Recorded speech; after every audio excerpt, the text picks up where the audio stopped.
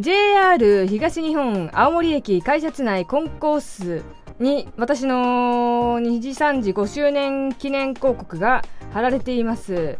近くに住んでる方が写真撮ってくれたのとかも見たんですけどわざわざ行ってくれてる方がいらっしゃるんですよかなり。あので今日行ってる方もいらっしゃってツイッター見てると。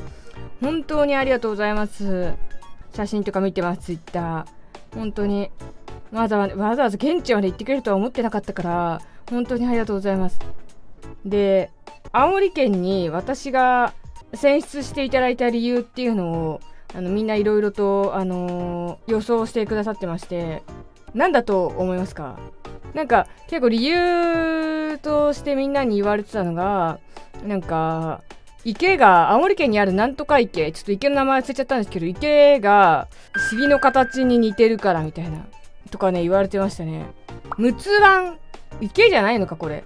陸奥湾が尻に似てるからとかね。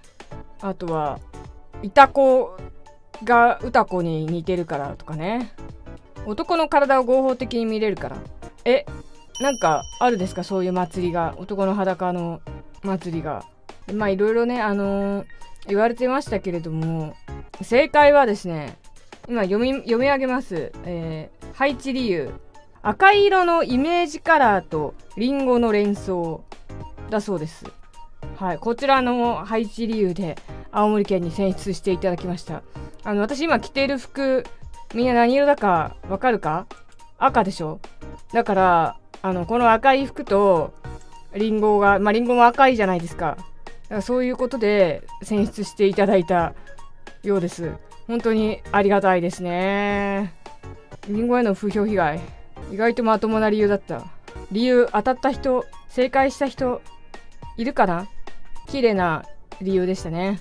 まあ汚い理由で選抜されるわけはないですから冷静に考えたら。はい。